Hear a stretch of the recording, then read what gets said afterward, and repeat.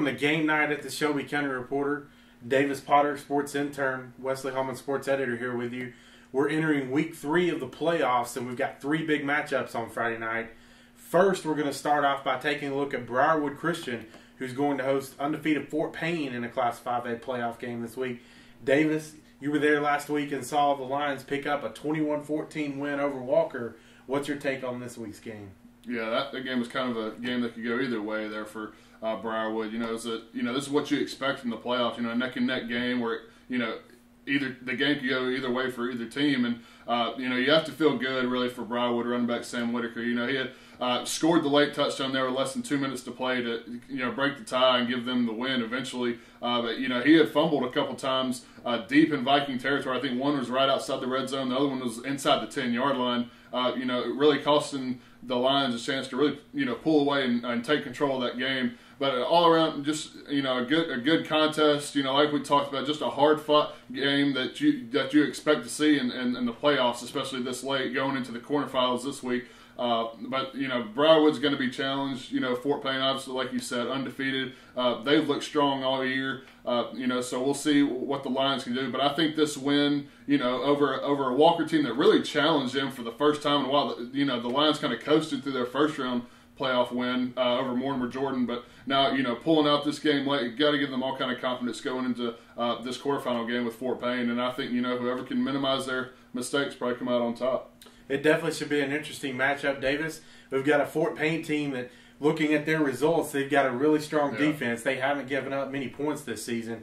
Probably one of the top two or three defenses that Briarwood will face this year. It's going to be interesting to see if Ben Kraft can continue yeah. his success at quarterback and as you mentioned, Whitaker can run the ball effectively. Uh, I think that's going to be the key because we know this Briarwood defense is mm-hmm. strong. They've shown week in, week out that they're up for the challenge in the playoffs. It should be a great game on Friday night.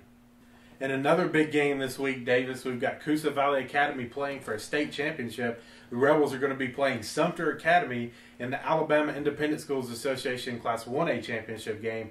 Coosa Valley Academy beat Sumter Academy earlier in the year to seal a region championship. Much bigger stakes are on the line in Friday's game, Davis. Do the Rebels have a chance to win a state championship? Yeah, they got as good a chance as anybody. And, you know, this is a team that's kind of been battle tested, too. You know, like we talked about with Briarwood, they've been in these close games that, you know, these, these situations where they had to come through. And that showed on Friday night when, you know, on their last drive of the game when they had to uh, have a.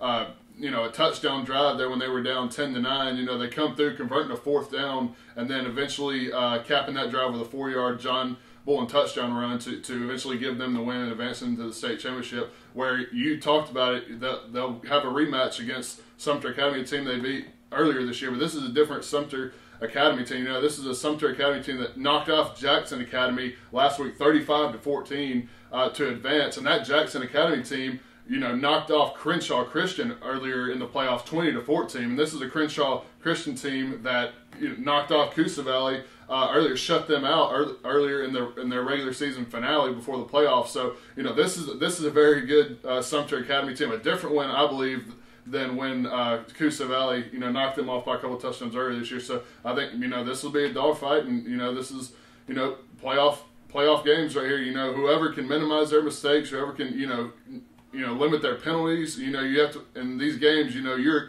mistakes get magnified even more. So, you know, the team that can kind of limit hurting themselves, I think, will come out on top in this game. It should be a great matchup. Earlier in the year, Coosa Valley had success in the passing game. John mm-hmm. Bolin passed for roughly 170 yards and two touchdowns. It'll be interesting to see if they can continue that this week. John had a big game last week. He'll be he'll be the go-to guy on offense, running and passing if Coosa Valley is going to have success. Should be a great matchup. Coosa Valley has a chance to win the county's first state championship since Shelby Academy did in 2006. Davis, we saw one team end its season last week in the second round of the playoffs. Spain Park had the big rematch with rival Hoover. Jaguars gave everything they had but came up short 30 to 10 and a loss at Regions Park. What was your take on that game? Yeah, you know, like you said, brought their season to an end. Obviously, a tough loss.